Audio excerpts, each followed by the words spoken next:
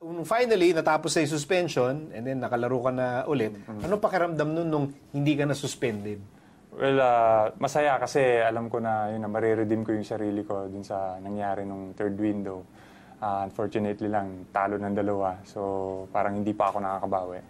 Uh, if uh, that basketball uh, episode was the lowest point of your 2018, eh, meron ka rin namang highest Highest point of 2018 na I'm sure, eh, kung ano may lungkot mo, middle of the year, bawing-bawi with this highest point. Ano yun?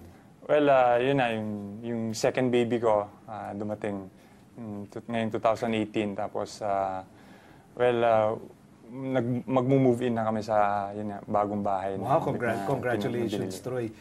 Ma- nag, sinasabi ng iba, no, nagbabago ang, ah, ang pananaw ng isang tao sa career kapag ano na, pag may mga anak ka na. Pag may mga anak. Lalo na pag may ano, may ah, may bagong baby ganyan. Eh, nararamdaman mo ba yun na even as a basketball star, eh yung tingin mo sa career mo nag-iiba because of well, dumadami na yung inaalagaan mo sa buhay mo. Well, yun na, nag, nag, nag-iiba. Minsan, ah, yun na, iniisip ko lagi, ah, paano ko mapapahaba yung karir ko para masustentuhan yung mga pangangailangan ng pamilya ko, lalong-lalo na yung mga anak ko. Kasi alam ko, pagdating ng araw, ah, ah, magre-retire ako, matatapos yung karir ko sa basketball, ano yung buhay ko, ang magiging buhay ko at magiging buhay ng pamilya ko after ng basketball. Ang matagal pa naman yun. Ah, Hindi mo pa kailangan na isipin ngay- ngayon yun.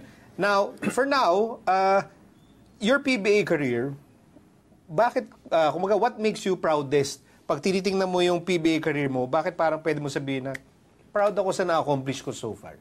Siguro, ah, naalala ko lagi yung, yung lowest point din ng buhay ko nung, sa, nung nasa probinsya pa ako.